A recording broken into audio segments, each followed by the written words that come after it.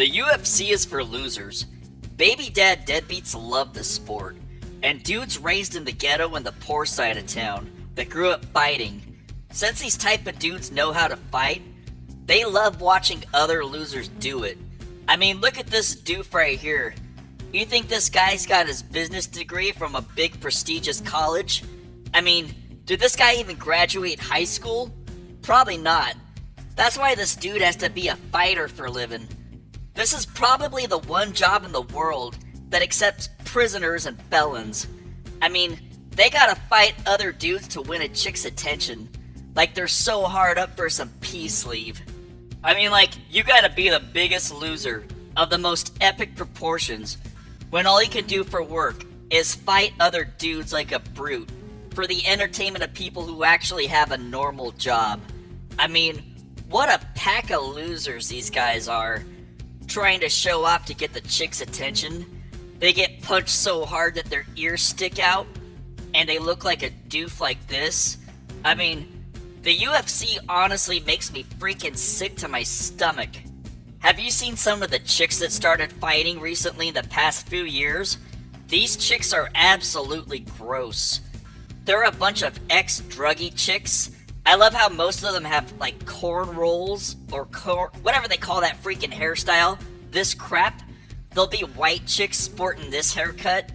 I mean, they look like they're fresh off of the streets. These chicks are absolutely nasty. Like freaking ex Tweaker chicks. I mean, yeah, I get it. When you're a felon and you've been to female prison, I'm pretty sure all you can do is fight once you get out because you're not going to attract a real boyfriend. I mean, you get you might get one of these doofs right here, right? One of these UFC freaks. I mean, like if you're a female fighting in the UFC, what kind of screwed up, traumatic childhood did you have? I mean, did your dad rough you up? Did your mom rough you up? Did you even have parents at all? Did your stepbrother or your foster brother kick your butt like every day and it taught you how to be a fighter I mean, you just gotta wonder what kind of background do these chicks come from?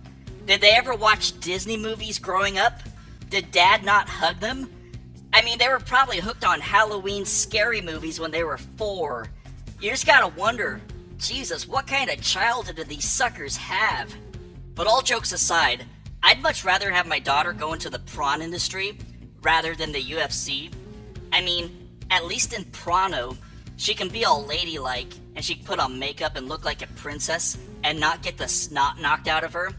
If I saw my daughter getting beat up by some lesbo, I'd want to jump in there and intervene. Okay, I'd probably do the same thing if she was in prawn.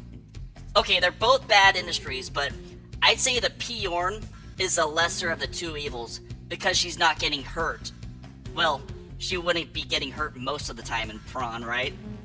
But yeah, Fighters in the UFC are nothing but a bunch of low IQ, 5 foot 6 dudes who were born into poor families.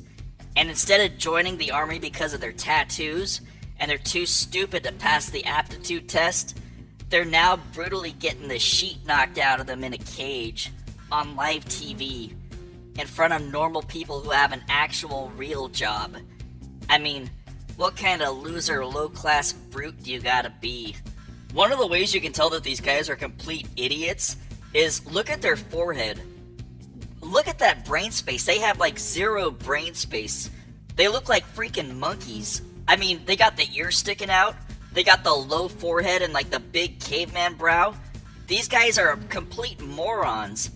I mean, what kind of brains does it take to fight somebody? You don't have to be a genius, right?